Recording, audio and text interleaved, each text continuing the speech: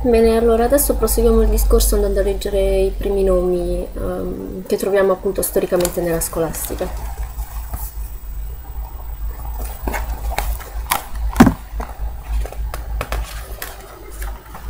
Cioè siamo per quanto riguarda la teologia carolingia, quindi il, il periodo che appunto è, inizia proprio con l'insediarsi, con la presa a potere ecco, di Carlo Magno. La prima scolastica inizia con la rinascita carolingia, la quale, tra le altre cose, dà vita anche alla teologia carolingia. Questa denominazione carolingia non ha soltanto una connotazione temporale, cronologica, ma analogamente all'epiteto bizantina, allorché si parla di teologia bizantina, denota un contesto socio-politico-culturale che riceve la sua, la sua impronta dall'imperatore Carlo Magno, così come la teologia bizantina subiva l'impronta di Costantino e di Giustiniano. Allora, adesso um, c'è il concetto veramente importante da capire di tutto questo capitolo, è il fatto che um,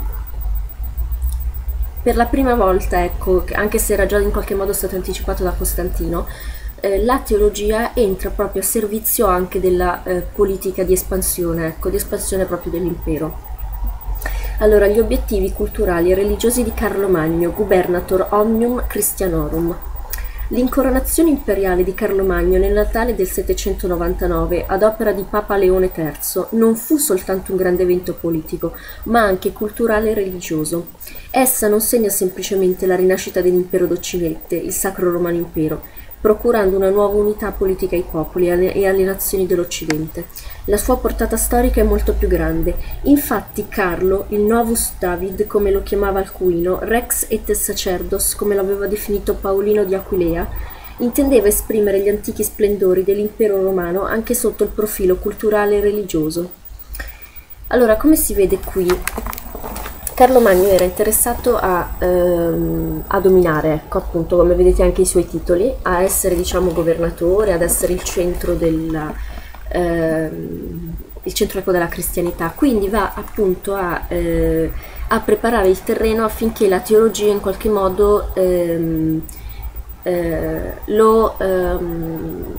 cioè trovi degli strumenti nella teologia per far sì che appunto il suo governo sia quasi come se fosse appunto volontà di Dio, come appunto vedremo poi andando avanti a leggere. D'altronde Carlo era perfettamente consapevole della singolare missione che la provvidenza gli aveva assegnato, assoggettare al regno di Cristo tutte le genti europee, ricorrendo se necessario anche all'uso delle armi. Questa impresa gli riuscì con i germani ma non con gli arabi, e promuovere l'educazione cristiana dei propri sudditi, del clero in modo particolare. Così con Carlo Magno riprende forma la Chiesa imperiale di Costantino. Allora, siamo qui.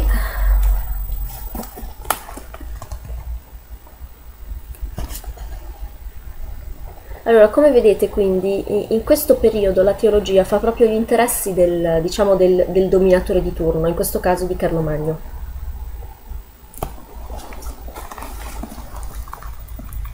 Il modello di chiesa che Costantino aveva fissato per la totalità dell'impero, secondo la quale l'imperatore funge da vescovo esterno e opera per la piena attuazione del regno di Dio, in questo mondo, coadiuvando e stimolando l'azione del clero, viene ricalcata da vicino da Carlo Magno. Già prima dell'incoronazione, in una lettera a Papa Leone, Carlo aveva così definito i propri compiti religiosi. È nostro compito, con l'aiuto di Dio, vedete che c'è sempre questo riferimento al fatto che Dio è con noi, eh, noi siamo qui per governare perché Dio lo vuole. E queste concezioni qui poi le ritroveremo anche nel pensiero di, eh, di Tommaso d'Aquino. Eh? Quindi noi siamo qui, vedi, eh, è nostro compito con l'aiuto di Dio difendere all'esterno la Chiesa di Cristo usando le armi contro gli assalti dei pagani e le devastazioni degli infedeli e consolidarla all'interno mediante la conoscenza della vera fede. Quindi appunto come vedete qui eh, Carlo Magno eh, sta proprio usando diciamo, il concetto di Dio per poi in, da un punto di vista appunto di espansione eh, di governo, ecco, di, di, potere poi temporale. Quindi la, la, Chiesa che emerge in questo periodo teologicamente non è la Chiesa di amore, di misericordia, di, eh, di carità, anzi al contrario è proprio una potenza egemone che cerca proprio di espandersi, di conquistare addirittura territori Il vostro compito, Padre Santo, è, come quello di Mosè, di alzare le braccia in preghiera e aiutare così il vostro esercito, affinché attraverso la vostra intercessione, sotto la guida e protezione di Dio, il popolo cristiano sia sempre vittorioso sui nemici del suo santo nome e il nome del nostro Signore Gesù Cristo sia glorificato in tutto il mondo. Allora, come vedete, poi quello che sostengo sempre anch'io, um, Qui non emerge appunto la figura di, di, una concezione di Dio, comunque la figura di una teologia che appunto sia incentrata sull'amore per il prossimo, sull'umiltà, eh, sulla carità, ma in realtà traspare e trasparirà, perché poi questo discorso qui viene portato ai massimi livelli da Tommaso d'Aquino, traspare proprio una volontà di potenza, una volontà di dominio, una volontà di, di espansione, una volontà di conquista. Una volontà che poi è, è, di egocentrismo, anzi di delirio di onnipotenza, di, eh, appunto di egocentrismo, di, di, di, questo ego conquistatore che diventa appunto un dio. Che tutti, appunto, devono, che tutti gli altri, cioè i pagani, gli arabi, gli altri popoli, devono temere, devono, a cui devono prostrarsi. Quindi non stupisce che poi eh, appunto nella teologia si sia sviluppato tanto anche il discorso del Cristo Kyrios, che appunto come dico vuol dire il Cristo Re, perché se appunto, come poi sostengo sempre, andate a vedere i santini del Cristo Kyrios del Cristo Re, vedrete appunto in realtà che lui ha, ha, sembra un imperatore, cioè ha addosso le vesti da imperatore, cioè le vesti che, che o la corona o lo scettro, che in teoria poi erano tutte cose che lo stesso Carlo Magno indossava. Quindi in realtà si vede chiaramente che quelle, quelle concezioni lì teologiche del Cristo Kyrios sono state eh, diciamo postulate eh, proprio, per, ehm, proprio per aiutare questo genere di conquistatori, come in questo caso adesso Carlo Magno, ma poi vedremo più in là nella storia, eh, tante altre persone che in realtà ehm, utilizzavano proprio questo messaggio di Cristo per espandersi, per essere temuti e venerati il Cristo Kyrios va quindi a identificarsi con l'ego di questo o quel ehm, conquistatore. Quindi non è un discorso di teologia dell'amore, di teologia della misericordia, perché nella teologia cristiana non c'è niente, cioè soprattutto cattolica, non c'è niente di misericordia o di amore, è tutto incentrato proprio per avere il potere temporale in terra. Allora, parlando del rafforzamento interiore della Chiesa, Carlo aveva di mira prima di tutto l'ordinamento ecclesiastico, la formazione del clero e l'istruzione religiosa, religiosa del popolo, come del resto il suo consigliere Alcuino spiegava, la formula rex et sacerdos, con l'espressione pontifex in predicazione. Tra l'altro il termine pontifex è pure un termine che eh, in realtà i cattolici hanno scippato ai pagani, come poi appunto sostengono gli stessi testimoni di Geova. Col ripristino del modulo costantiniano della Chiesa imperiale, la distinzione tra Chiesa e Impero viene meno, l'impero e la Chiesa e viceversa.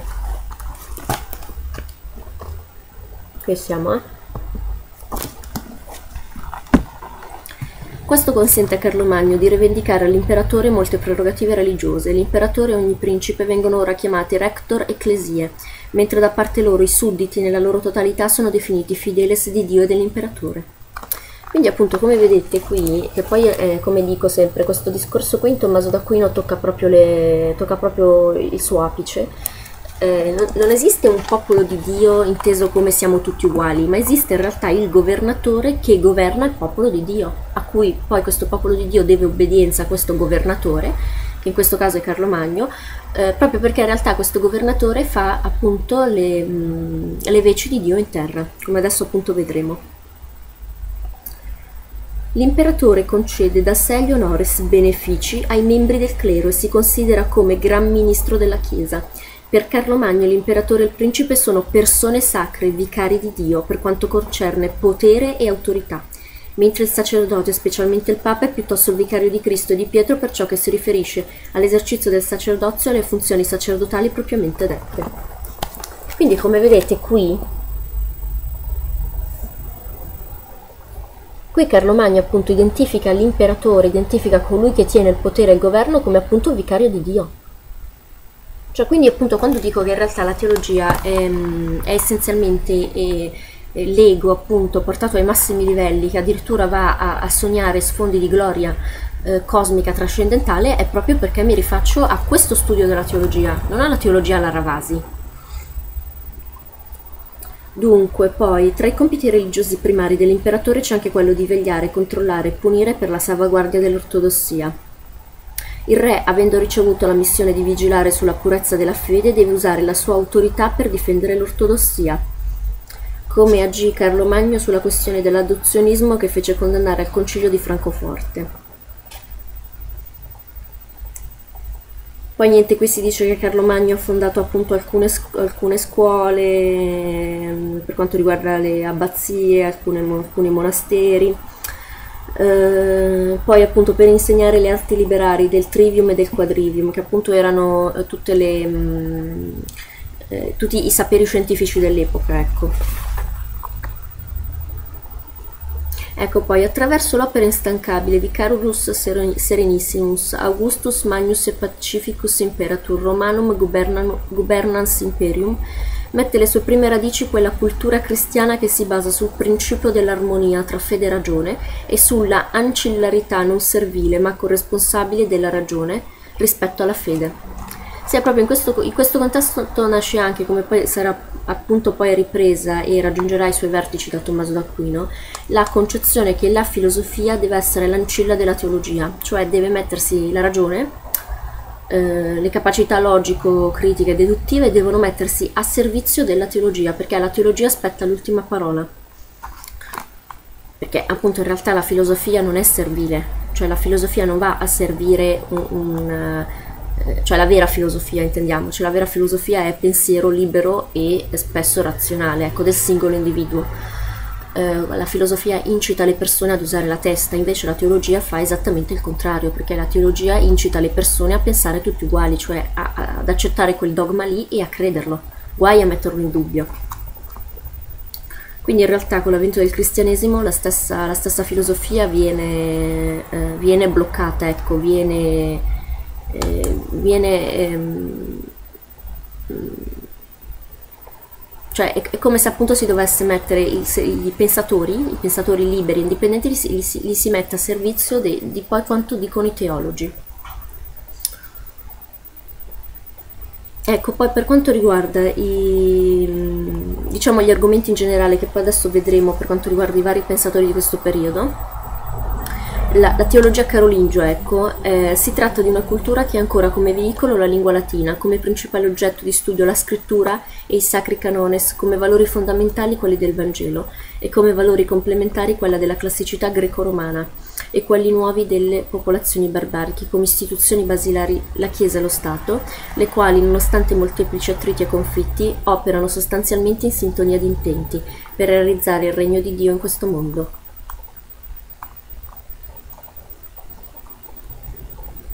Ecco, adesso appunto lo interrompo e proseguo, proseguo appunto parlando dei, uh, dei pensatori più importanti del, di questo periodo.